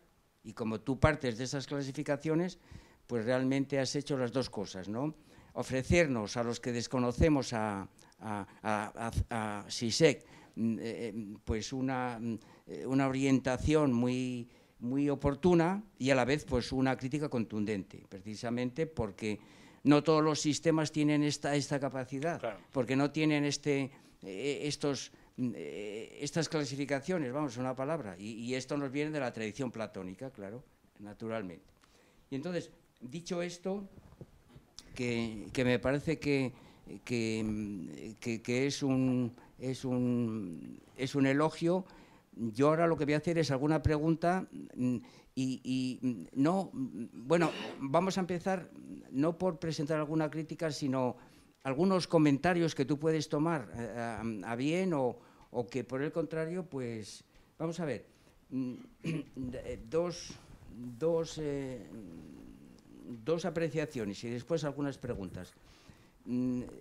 claro, como tú te, has circunscrito a la idea de, sujeto trascendental, ha habido un momento en el pasaje de tu exposición que has, mm, afirmado la posibilidad de clasificar todas las filosofías a partir del ego trascendental. Eh, eh, entonces esto, claro, esto tiene que ser completado y esta es la, la, primera sugerencia que yo haría, ¿no? Tomando como punto de referencia, pues el libro de don Gustavo, La metafísica presocrática, donde los sistemas filosóficos, y ahora sí que utiliza el símbolo de la inclusión, pues mm, no se hacen solo a partir del sujeto trascendental, sino precisamente de las inclusiones ¿eh? y, los órdenes, hasta, hasta seis, como sabemos muy bien, ¿eh? de pues, mundo, eh, sujeto trascendental y, materia ontológico general. Sí. Claro, naturalmente. Entonces, claro que cabe esto, pero que sería en todo caso una historia parcial. Eh, porque lo que nos ofrece don Gustavo en aquella primera obra, aquella primeriza, eh, pues es que, estas tres grandes ideas pues, mm, eh, tienen que estar incluidas unas en otras de alguna manera, ¿no? con independencia de que a la hora de hablar de ontología general, pues tengamos que hacer las... tenemos que ir a la teoría de clases, claro, naturalmente, a, la, unión entre los géneros de, materialidad. Bueno, esto, esto sería, la, podríamos decir, la, primera cuestión. La segunda cuestión, cuando también en un momento de tu exposición, ¿eh? o sea que mm, tú ahora pues puedes naturalmente hacer el, comentario y, decir, bueno, pues eh, mm, eh, sí o no, o, es, suficiente desde la idea de, de sujeto trascendental. Bueno, la segunda cuestión es aquella en la cual ha aparecido el, cristianismo, que ha estado constantemente saliendo, ¿verdad? Y, tú lo has, lo, lo has presentado como una, podríamos decir, como una teología natural. Es decir, eh, eh, eh, es decir, hablar, el, hablar pues de hablar Dios como algo infinito que, que, ha creado el mundo, ¿verdad? Es decir, esta, esta, esta noción. Pero claro, yo no sé si tienes si eres consciente tú de que, de que, de que esa es una parte de, de, la relación entre la filosofía materialista y el, y el cristianismo, porque luego, pues naturalmente, está la inversión teológica, donde eh, eh, pues supone que, se parte del mundo, ¿eh? eh su constat, esto, esto ya lo dice, lo dice Santo Tomás de Aquino, ¿verdad? Hay que partir del mundo para llegar a Dios, pero también cabe la inversión teológica, es decir, no tanto hablar mm, eh, eh, eh, sobre Dios desde el mundo, que eso es lo que hace Santo Tomás de Aquino, teología natural, sino que, y, Dios es infinito y es creador del mundo y está recogido precisamente en, la fórmula que nos ofrece don Gustavo Bueno, enmarcada en el ordo, en el ordo de Sendi feudalismo, sino que también cabe naturalmente, pues, hablar del mundo, pero desde Dios. Y claro, naturalmente, esto es lo que han practicado, pues naturalmente, todos los idealistas, sin duda alguna, vamos, en una palabra, ¿no? Y, todos los que, eh, los que han intentado hacer esto, pues desde unas ideas mm, de Dios como evidencia o Dios como, pues eso, como, eh, como gravitación, como, bueno, esta, esta, estas cuestiones en las que no nos podemos entretener demasiado. Entonces, naturalmente, esa es la otra, la otra, la otra posibilidad. Y entonces ya enlazo con una, una, una, una, primera pregunta, ¿no? Es decir, hechas estas observaciones según las cuales en tu exposición, pues no sé de qué manera, o a lo mejor lo has hecho y no te ha dado tiempo, tienes que incorporar aquella, para hacer, reconstruir la historia de la filosofía, pues las seis eh, las seis fórmulas de, los seis sistemas genéricos, ¿verdad? Pues, mm, eh, eh, pues naturalmente otra, otra, otra idea que me ha brotado inmediatamente es preguntarte ya, esta es la primera pregunta, si tú has encontrado en SISEC alguna referencia a Feuerbach, porque has hablado de, Hegel, ¿eh? Mm, naturalmente no, no tiene por qué, yo lo desconozco, pero yo te hago la siguiente observación. Me da a mí la impresión ¿eh?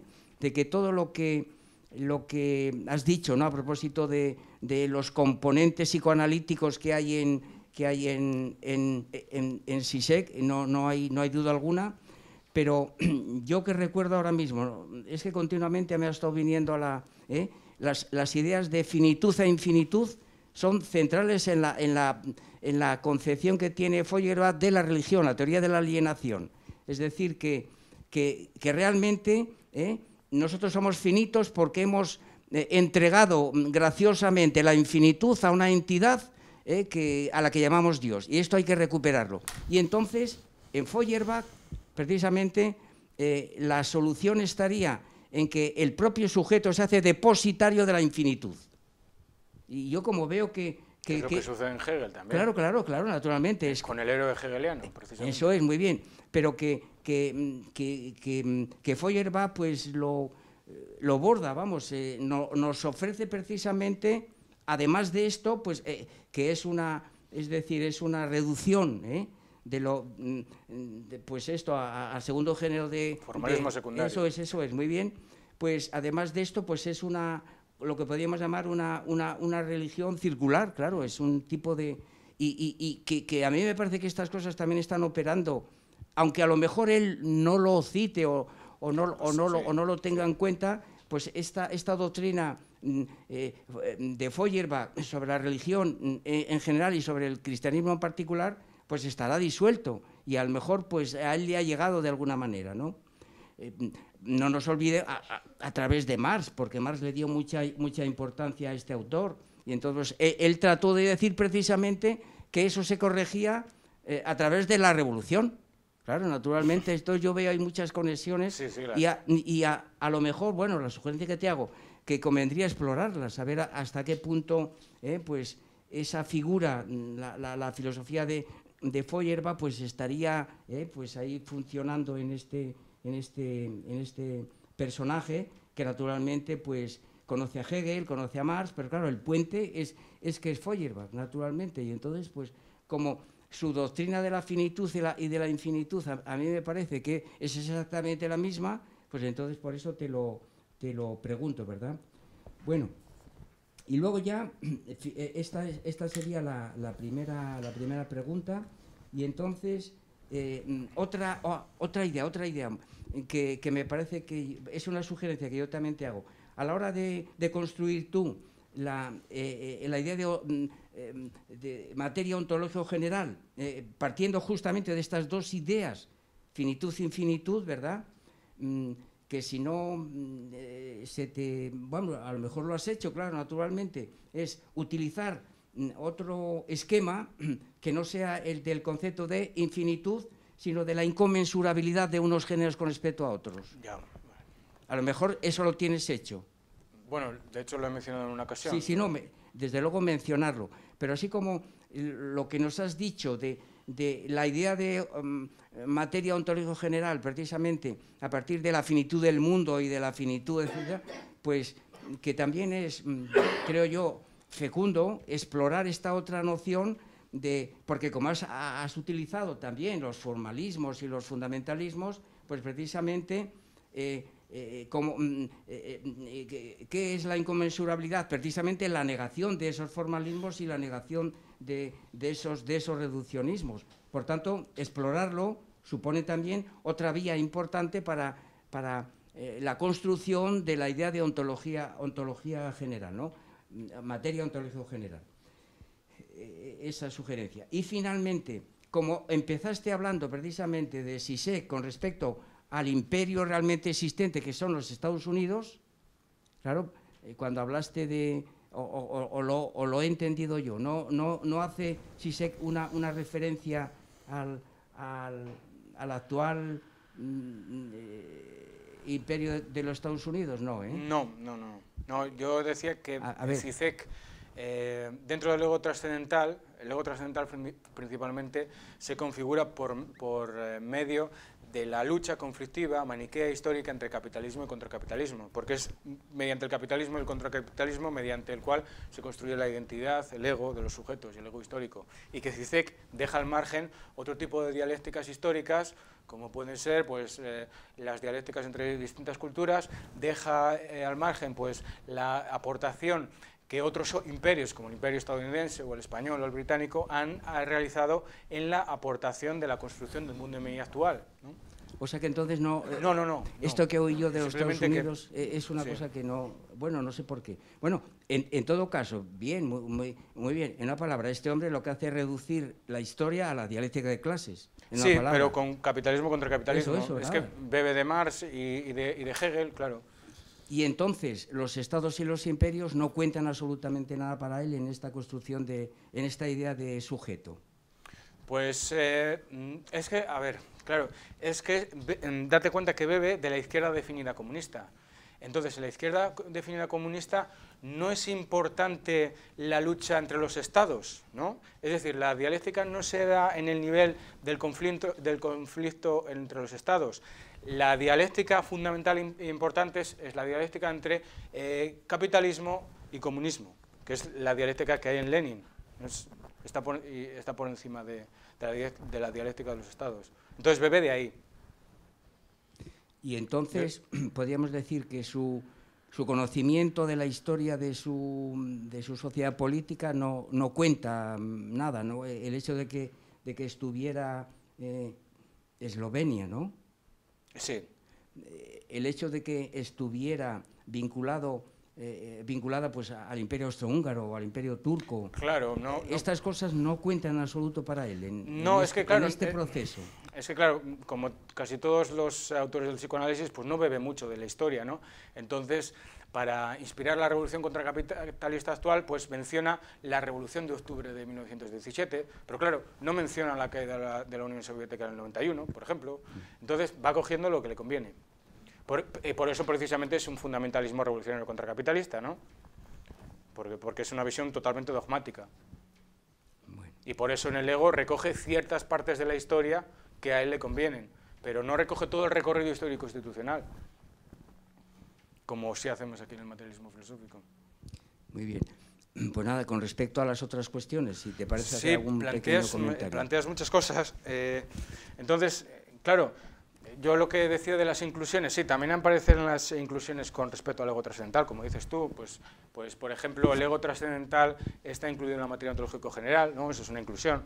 Pero claro, yo más a lo que iba es a la ontología puramente especial de los géneros de materialidad, es decir, cuando estás hablando del ego, eh, no es pertinente en ningún sentido si, M, si M3 y M1 están incluidos en, M, en M2 o etcétera. Lo que importa es, en, eh, en el plano del ego trascendental, es la pre presencia de los géneros de materialidad, en tanto que el ego trascendental tiene que realizar la totalización, la unificación de MI. ¿no? Entonces, eh, sí aparece en la inclusión, pero no dentro de la ontología especial. Porque no importan los formalismos. Y luego, ¿qué más comentabas? Ah, sí, lo del cristianismo. Sí, lo del cristianismo tienes razón tú, por supuesto, te, la tengo que dar. Pero eh, yo estaba intentando aquí dar una, un ejemplo, digamos, casi pedagógico, como dije al final, pues que se adaptase al público en general, porque las cuestiones del ego trascendental son cuestiones muy técnicas, ¿no? y, si lo quiere entender alguien que sabe mucho de CICEC, pero no sabe del materialismo filosófico, pues yo he intentado poner un ejemplo metafísico contrario al materialismo filosófico, en el que primero se parte de la, de infinitud y después, a partir de esa infinitud, se, se, se, producen las cosas finitas, ¿no? Dios creó el mundo. Era simplemente una cuestión más pedagógica, pero claro, te pones más técnico y, y tienes razón, pero yo intentaba, pues eso, realizar una difusión más amena del ego trascendental, eso es todo, pero tienes razón. Eh, ¿Qué más contabas? Ah, sí, lo de Feuerbach. Sí, sí, claro que sí, está esa estructura, que es la estructura de Hegel también, ¿no? del, del, héroe, del héroe hegeliano, pues como decía mmm, Alejandro Magno o, César, ¿no? que digamos ellos traían la historia del futuro, ellos eran conocedores de esa historia futura y la traían al presente, ¿no? y los demás decían, ah, esto es lo que queríamos, ¿eh? porque estaba inscrito en la historia. Entonces, claro, eso es un formalismo secundario porque M3, la necesidad histórica, se queda circunscrita dentro de M2. Claro, y, y en ese sentido sí se parece a Feuerbach. Sí que lo cita, y tiene razón, sí que lo cita, pero claro, de manera eh, periférica, porque ya vemos que dice que era muy divagante, ¿no? Recuerdas cuando divagaba pues, a lo largo del cine, de la literatura, de, de, del folclore, de los, con los chistes, ¿no? que tiene un libro que, que, se, que, se, titula Mis chistes, mi filosofía, un, un, libro entero que es una divagación de chistes. ¿no? Entonces, claro, eh, sí, sí que lo cita, pero de forma periférica. Entonces, yo, según mis criterios, vamos, eh, los pilares fundamentales de CICEC están en Hegel, en Lacan, que es, en Hegel se da este también formalismo secundario, pero en forma de idealismo objetivo. Los pilares fundamentales de, de son eh, Hegel, Lacan y Lenin. Entonces, pero sí, sí que, sí que hay estru esa estructura, por lo menos eh, eh, abstracta, funcionando, al menos de trasfondo, ¿no? de escenario, sí que está funcionando esa estructura. ¿Y qué más? No sé si te, te habré ayudado, Tomás. O...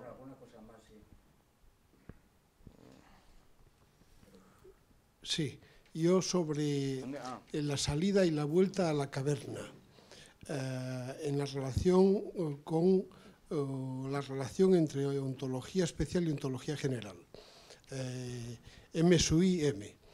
Eh, parece ser que eh, estamos ante el caso de un idealismo subjetivo objetivo. y objetivo, ambas cosas en ontología especial. Yo lo he entendido así eh, fundamentalmente objetivo, probablemente. Eh, eh, en la medida en que haya elementos críticos incorporados en esta filosofía mundana, filosofía, perdón, en, esta filosofía monista, esta filosofía monista, en la medida en que haya elementos críticos, podría hablarse de la tendencia a un materialismo ontológico general ejercitado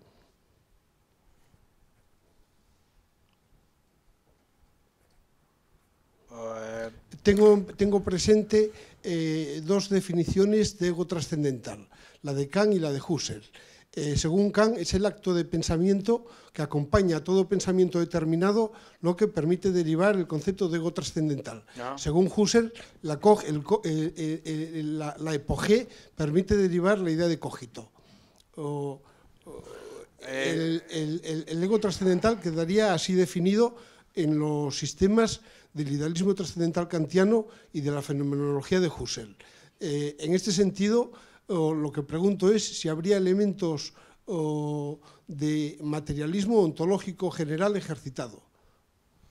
No entiendo lo que quiere decir con ejercitado, pero bueno, con lo que mm, eh, respecta al idealismo subjetivo-objetivo, idealismo subjetivo es el de Fichte, idealismo objetivo es el de Hegel, porque en Hegel lo que se está, en, y, y- en Zizek es idealismo objetivo también, porque lo que se está incluyendo en la psicología particular, M2 del sujeto, es la necesidad de la historia venidera, o, es decir, es un contenido M3, ¿no? O, Dios o la nada son contenidos M3 eh, eh, supersubjetivos. Entonces, eh, que están fuera de la historia, ¿no? Entonces, es que el otro no, no entiendo lo que quiere decir, porque el, el ego trascendental en el que nos apoyamos aquí es el ego del materialismo filosófico.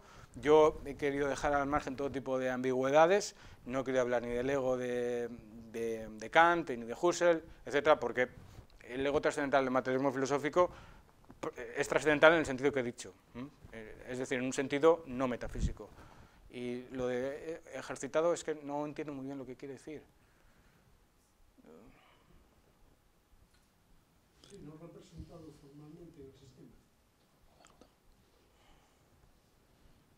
No, eh, no entiendo lo de formalmente, lo, lo siento. Oye, quería Pero podemos hablar después. ¿vale? Sí, Oye, quería preguntarte, yo creo que la, la referencia que has hecho a Feuerbach me, me interesa.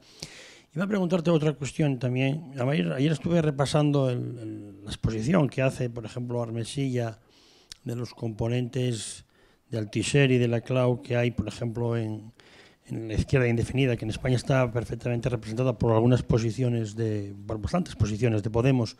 Yo te iba a preguntar, eh, no solamente por el componente hegeliano, sino por el componente engelsiano. En la medida en que no podemos, o sea, no podemos, si afinamos, ¿eh? si afinamos, no podemos meter a Marx y Engels en el mismo saco. En la medida en que Engels so- sobrevivió a Marx en más de una decena de años, y además años muy cruciales en- después de la internacional. Eh, porque tu exposición me ha, me ha recordado, cuando hablas del formalismo segundo genérico eh, en, en Zizek, pues las posiciones que Engels mantiene, en yo esto lo estudié en una tesina que tendré que publicar hace muchísimos años, todavía no había caído el muro de Berlín, las posiciones que Engels mantiene en el origen de la familia, cuando las fuerzas de la historia acaban siendo también las fuerzas de la intrahistoria. Es decir, cuando Engels hace una lectura de la doctrina de la barbarie de, de Taylor y sobre todo de Morgan, pues al final lo que hace es utilizar el esquema hegeliano M3 reduciendo la M2. También en el sentido en que ahí la teoría del ego es los tres elementos: negación de la negación, interpenetración de los contrarios y salto de la cantidad a la cualidad. Pero visto en clave de- de cómo el espíritu humano se ha ido liberando de la barbarie y la sociedad futura, la sociedad final, será una vuelta a ese esquema armónico que ya está en Rousseau y que ya está y que yo creo que después ha influido mucho en las digamos en las mm, derivaciones formalistas segundo genéricos de ciertos marxismos el caso de Rodolfo Mondolfo por ejemplo y posiblemente también de la Clau y quería quería que incidieras un poquitín si hay si ves que hay porque a lo mejor lo, lo estudio yo no a ver qué elementos puede haber de Engels en Zizek y en general no en Lenin, eh, sino en general en lo que ahora es la izquierda indefinida. eh. Por ejemplo, cuando, pues eso, cuando en España ah, los padres de- del engendro llamado Podemos, eh, pues algunos profesores de filosofía que ahora pues están en, el candelero, eh, citan a la Clau como la última palabra en sabiduría, o, o Althusser, cuando bueno, el propio Bueno ya refutó a Althusser y su, su concepción de Marx hace más de 40 años, ¿no? Eh, sí, hay, ciertas estructuras de formalismo secundario eh, en ontología especial funcionando en la cloud también, porque ahí se da un poco el asunto del héroe hegeliano, ¿no? Es decir, el líder político, en este caso pues puede ser igual Pablo Iglesias o lo que fuese, eh, eh, to- toda la, mm, digamos, toda la ideología popular, ¿no? todas las conciencias populares tienen que, quedar encarnadas y reificadas en un líder. Y ese líder sabe lo que el pueblo quiere antes de que ellos mismos sepan que lo quieren, que es lo que quería un poco Íñigo Rejón, cuando, eh, digamos, idealizaba la figura de Pablo Iglesias, es decir, aquí tenemos este líder y, en este líder queda encarnada la voluntad del pueblo. Es, como incluir un M3 en un M2. Pero sí, es, es, la, lo de Feuerbach, es lo de Hegel, ese formalismo secundario que está funcionando. Sí, es, es la estructura ontológica general esa la que funciona. Sí. No.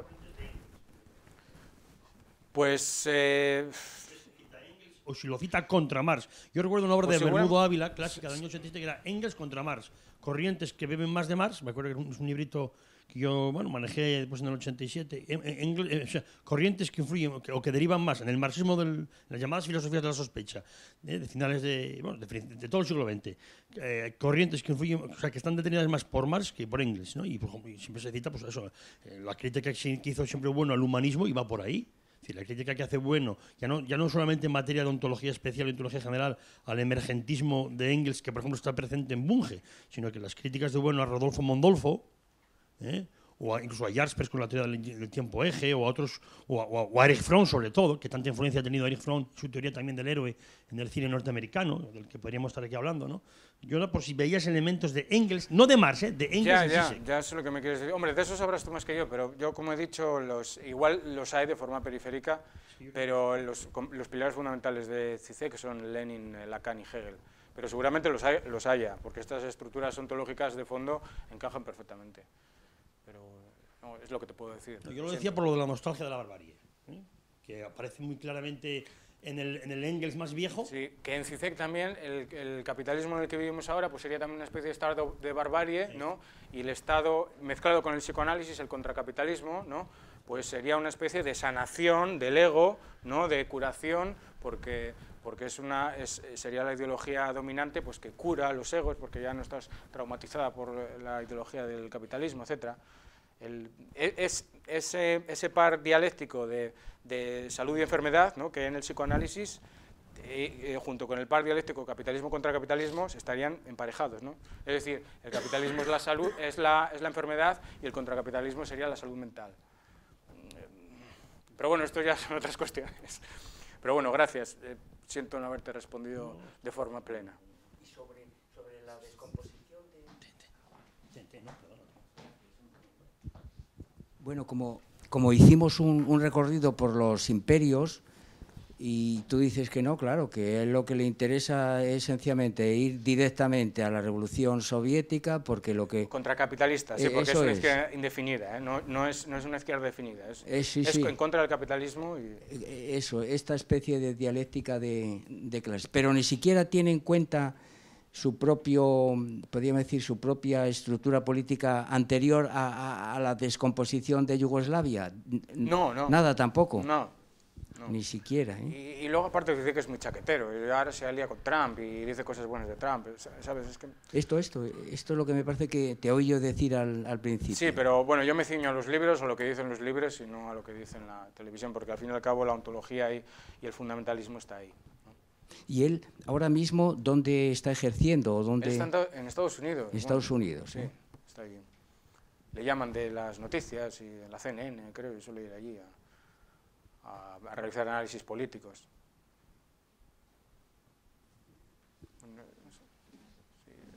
Nicole quiere decir algo. Bueno, primero felicitarte por la capacidad de síntesis en la comparación de, los las dos ontologías, la verdad es que impresionante.